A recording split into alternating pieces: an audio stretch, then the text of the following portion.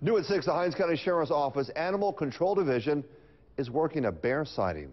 Their office says they received several calls from various parts of the county about that sighting along Pine Haven Road in Clinton and Highway 18 right near Pentecostal Drive.